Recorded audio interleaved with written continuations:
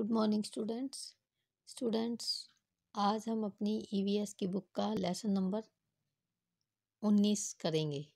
Lesson का नाम है जवाहरलाल नेहरू। इस लेसन में हम हमारे प्रथम प्रधानमंत्री जवाहरलाल नेहरू जी के बारे में जानेंगे। सभी स्टूडेंट्स ध्यान से सुने और समझें। जवाहरलाल नेहरू का जन्म इलाहाबाद में हुआ था। उनके पिता का नाम मोतीलाल नेहरू था। वह एक महान स्वतंत्रता सेनानी थे। अपनी प्रारंभिक शिक्षा समाप्त करने के बाद वह उच्च शिक्षा के लिए इंग्लैंड गए। उन्होंने वहाँ से कानून में स्नातक की डिग्री पूरी की। भारत वापस आने के बाद उन्होंने अपनी कानूनी अभ्यास आरंभ किया।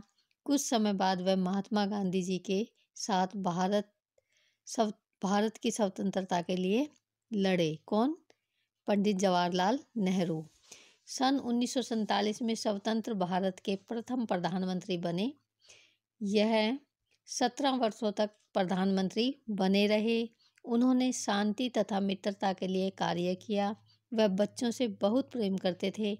बच्चे भी उन्हें बहुत प्रेम करते थे और उन्हें प्यार से चाचा नेहरू कहकर पुकारते थे। इनके जन्म दिवस चौदह नवंबर को बाल दिवस के रूप में भी मनाया जाता है। पंडित जवाहरलाल नेहरू जी का जन्मदिन को बाल दिवस के रूप में मनाया जाता है। मुझे उम्मीद है स्टूडेंट्स कि आपको ये लेसन अच्छे से समझ आ गया होगा। आपने इस लेसन को एक बार फिर से रीड करना है ताकि और अच्छे से समझ में आ जाए। Thank you students have a nice day